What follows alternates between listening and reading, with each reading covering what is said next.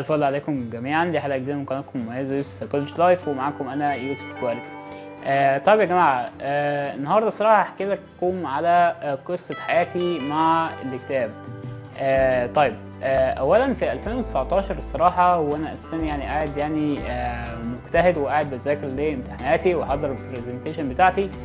ففجأة من دون أي مقدمات تجيلي الحالة إن أنا مش عايز أعمل حاجة أي حاجة. وخلاص إن أنا فقدت الشغف آه وبتهرب من الناس.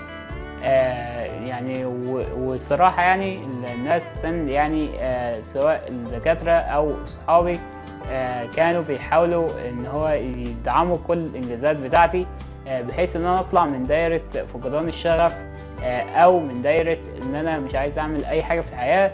بس صراحة أنا ما كنتش بستقبل آه، أي دعم آه، في التوقيت ده. آه، وكمان أصلا آه، أنا آه، كل من حواليا حسيت إن أنا انطفيت وبتهرب من الناس والناس ابتدت آه، تدور عليا وتقول هو يوسف فين. آه، كنت بتهرب الصراحه بالمذاكرة وباللي أنا تعبان شوية لحد ما ظهر أحد آه، الصديقه عزيزة عليا جدا آه، وقديمة في نفس الوقت. صراحة هي جت كلمتني وهنعرف بقى في الفيديو الجاي هي عملت معايا إيه. فاستنوني ومع السلامة.